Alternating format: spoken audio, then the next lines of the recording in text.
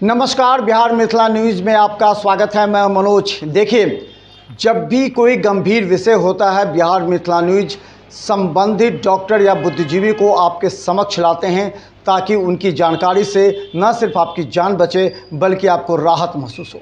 देखिए, ठंड का समय आ गया है।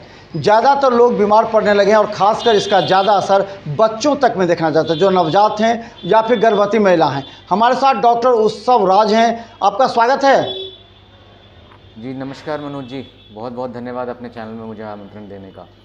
देखिए, प्रसाद पॉली क्लिनिक और सुपर स्पेशलिटी हॉस्पिटल, जो विगत कई माह से गंभीर मरीजों का इलाज करता आ रहा है, और तभी जब कोई गंभीर मरीज़ उसके अनुभव को डॉक्टर लेते हैं तो वो आप तक पहुँचाने का प्रयास करते हैं कि आखिर वो मरीज़ गंभीर क्यों हुआ। डॉक्टर साहब, एक गंभीर समस्या अभी आ रही है कि मौसम ठंड का शुरू हो रहा है। और एक तो सर्दी खांसी से ज़्यादा होता है और खासकर गर्भवती महिलाओं को। जब अगर खांसी होता है सर्दी होता है तो उसका क्या असर पड़ता है और उससे कैसे बचा होना चाहिए? पहले गर्भवती महिलाओं के लिए। जी। जी सबसे पहले तो मैं कहना चाहूँगा कि मनोज जी हम आज भी जानते हैं कि ठंड में भी जो पोल्यूशन और डस्ट होता है वो धीरे धीरे नीचे सेटल करने लग जाता है तो हमारे ब्रीदिंग लेवल पे आ जाता है जिसकी वजह से इन्फेक्शंस बढ़ने लग जाते हैं। जो एयरबोर्न वेक्टर्स हैं, जिनको हम ब्रीद करके अपने नाक के थ्रू या मुँह के थ्रू अंदर लेते हैं, उनसे ही इन्फेक्शंस होते हैं। तो ये समझना बहुत ज़रूरी है कि मास्क का प्रयोग जैसे पहले कोविड के समय में कर रहे थे तो जब ठंड पड़ती है तो भी मास्क का प्रयोग करें ताकि आप कम से कम upper respiratory tract infection lower respiratory tract infection इनसे बच पाएँ। तो गर्भवती महिलाएँ वैसे भी एट हायर रिस्क होती हैं, उनकी इम्यूनिटी थोड़ी कम हो गई होती है तो इसलिए वो मास्क का इस्तेमाल ज़रूर करें, ढंग से अच्छे कपड़े पहनें और कोशिश करके ठंडी हवा के समय बाहर ना निकलें और अपने आप को बचा के रखें। अगर अगर थोड़ा सा भी इफेक्टेड अगर हो गई गर्भवती महिला अगर ठंड से और उसे खांसी हो रहा है तो बच्चों पर क्या असर पड़ेगा? तो उस समय उसे क्या करना चाहिए? देखिए, गर्भवती महिलाओं के लिए बहुत ज़रूरी है कि जो दवाइयाँ वो लेती हैं, वो काफ़ी लिस्ट वाली दवाइयाँ होती हैं कि जो कि हर पेशेंट को आराम से मतलब गर्भवती महिलाओं को सारी दवाइयाँ नहीं दी जाती हैं क्योंकि उनके गर्भ में बच्चा भी होता है। उसको नज़र में रखते हुए किसी भी गर्भवती महिला को अगर सर्दी, खांसी का प्रकोप होता है तो वो जिस भी गायनेकोलॉजिस्ट को अपने दिखा रही हैं, जिनके फॉलोअप में हैं तो उनको जाके अवश्य मिलें और उनसे जाके एक बार चिकित्सा परामर्श ज़रूर लें। जी। अच्छा एक एक समस्या और होती है कि जो गर्भवती महिलाओं का रूटीन अलग होता है, उसके जो डॉक्टर के अनुसार रूटीन होता है। तो अचानक अगर उसे अगर इन्फेक्शन फैले या फिर अगर हो तो उसे डॉक्टर से कैसे दिखाना चाहिए और उसे तत्काल अगर रात में हो तो उसे पहुँच नहीं पाए तो उस परिस्थिति में क्या कम से कम उसे करना चाहिए परहेज? या फिर ऐसी परिस्थिति में जो गर्भवती महिलाएँ जानती हैं कि वो ससेप्टेबल हैं उनको अक्सर सर्दी खांसी होता है जो काफ़ी जल्दी जल्दी उनको सर्दी खांसी जुकाम होता है। अब जानते हैं कई लोग ऐसे होते हैं जिनको जुकाम खांसी जल्दी हो जाती है। तो वैसी महिलाएँ अपने डॉक्टर से पहले से ही पूछ कर रखें कि अगर ऐसा हो तो उनको कौन सी दवाइयाँ लेनी हैं? और अगर बढ़े रात के समय कुछ भी हो तो उनको क्या करना चाहिए? वो अपने डॉक्टर से ज़रूर पूछ के रखें। अच्छा एक एक सवाल और भी है कि इस ठंड के समय में खासकर महिलाओं को जो गर्भवती हो या फिर जो गर्भवती नहीं भी हो, उनको डायबिटीज़ या किस चीज़ से कितना ज़्यादा नुकसान पहुँच सकता है? अगर किसी को डायबिटीज़ हो या ब्लड प्रेशर हाई हो तो उस समय उसको क्या करना चाहिए अगर ऐसे देखिए डायबिटीज़ होना और ब्लड प्रेशर हाई होना ये तो किसी भी बीमारी के लिए खराब खराब है। अगर मुझे पहले से डायबिटीज़ है या पहले से अगर हाइपरटेंशन है और उसके बाद अगर कोई बीमारी होती है तो वो बीमारी गंभीर रूप लेने का चांसेस उसके काफ़ी ज़्यादा हो जाते हैं खास करके डायबिटीज़ के साथ। क्योंकि अगर हम जानते हैं अगर हमारा शुगर कंट्रोल नहीं है अगर शुगर हमारा हाई रहता है तो वैसे में इन्फेक्शन को फैलने का अच्छा मौका मिलता है क्योंकि शुगर एक मीडिया बन जाता है जिसमें इन्फेक्शन बहुत तेज़ी से ग्रो करता है। तो अपने डायबिटीज़ यानी कि अपने शुगर का कंट्रोल बहुत अच्छे से रखें। जो भी डॉक्टर को आप दिखाते हैं, उनसे अपना शुगर चेक करा के अपनी दवाइयाँ ठीक करवा लें। अगर आप बहुत दिन से डॉक्टर चिकित्सक के पास नहीं गए हैं तो उनसे जाके सुनिश्चित करें कि आप जो दवाइयाँ ले रहे हैं, वो ठीक है कि नहीं, और सही समय पर उनका सेवन ज़रूर करें। अच्छा तो इसके साथ ही हम बता दें गर्भवती महिलाओं के साथ ही बच्चों पर ज़्यादा असर खासकर जो नवजात बच्चे होते हैं शिशु हैं तो उन लोगों को इस ठंड में क्या असर पड़ सकता है? कभी कभी कहा जाता है कि चमकी आ जाता है जिससे बच्चे एकदम तो इस परिस्थिति में क्या क्या प्रॉब्लम हो सकता है नवजात बच्चों के लिए?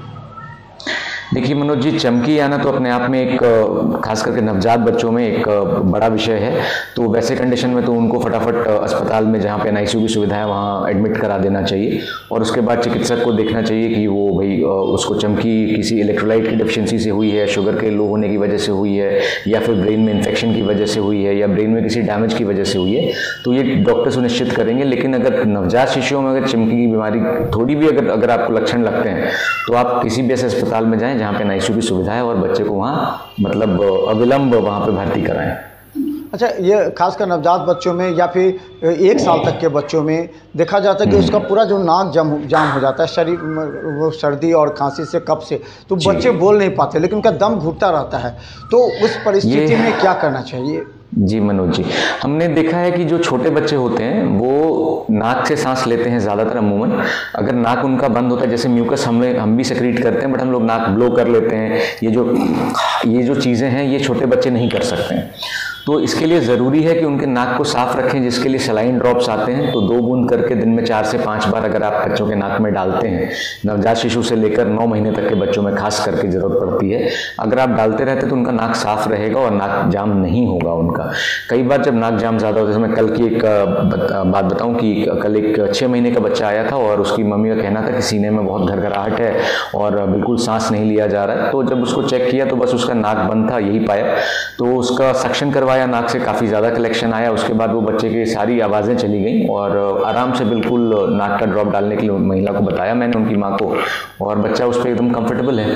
तो नाक अगर ज़्यादा बंद होता है तो आप डॉक्टर के पास ज़रूर जाके एक बार मिल लें, ताकि उसको, उनको लगे कि जो दवाइयाँ देनी है वो देंगे। अदरवाइज़ अगर आप घर पे हैं तो सलाइन ड्रॉप्स आते हैं, वो आप दो से तीन बूंद दोनों नाक में डाल सकते हैं, हर चार से छः घंटे के अंतराल पर अच्छा डॉक्टर साहब आप शिशु विशेषज्ञ भी हैं। क्या लगता है कि ठंड के समय में बच्चों में कौन सी कौन सी और समस्या आती हैं? बीमारी आ सकती है उसकी संभावना रहती है उसके लिए पहले से अलर्ट हाँ। ठंड के समय में एक तो देखा गया है कि डायरिया भी उतना ही कॉमन होता है मतलब पेट खराब होना भी, क्योंकि खाना अगर, देखिए कोई ये नहीं है कि ठंड की वजह से ही होता है बट खाना कई बार ठंड में हाथ कम धोते हैं बच्चे, या नहाना भी थोड़ा कम हो जाता है, इस तरह की चीज़ें होती हैं तो गंदगी कहीं ना कहीं थोड़ी ज़्यादा फैलती है। उसकी वजह से भी काफ़ी बार डायरिया होना वॉमिटिंग होना वायरल गैस्ट्राइटिस होना, ये सब चीज़ें ठंड में बहुत कॉमन है। तो अगर बच्चे को उल्टी हो रही है तो उसे ओआरएस दें, पेट खराब है तो उसे ओआरएस दें।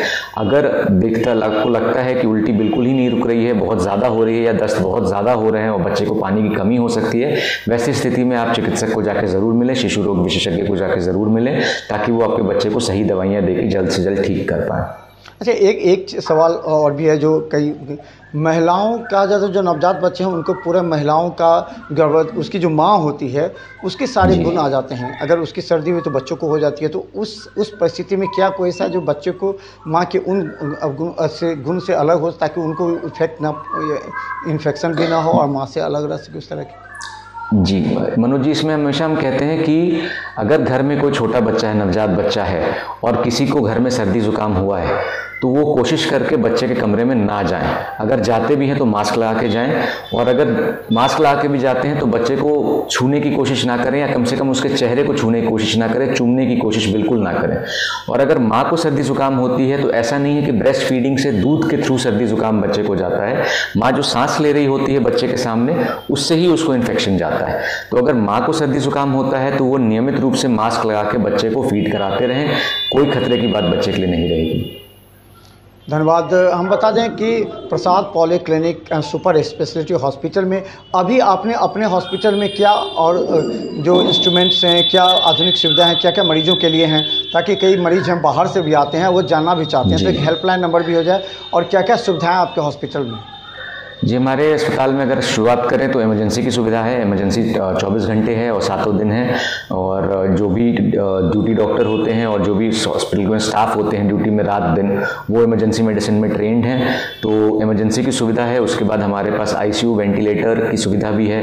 नवजात बच्चों के लिए जो है कहा जाता है, जिसको उसकी भी सुविधा है, जिसमें कि सी हमारे पास वेंटिलेटर्स हाई एंड वो सारी चीज़ों की सुविधा है। वो ऑपरेशन थिएटर की सुविधा है, जिसमें कि गायनी के ऑपरेशन भी होते हैं और सर्जरी भी होती है मतलब नॉर्मल सर्जरीज भी होती हैं, जिसमें कि वेंटिलेटर के माध्यम से लंबी सर्जरीज भी कराई जाती हैं जनरल अनिस्थीसिया भी दिया जाता है। इसके अलावा एच डी रूम्स हैं हमारे पास, जो कि फुल्ली इक्विप्ड हैं मॉनिटर्स के साथ सक्शन ऑक्सीजन के साथ, और बाईपैप की फैसिलिटीज़ भी वहाँ पर मौजूद रहती है।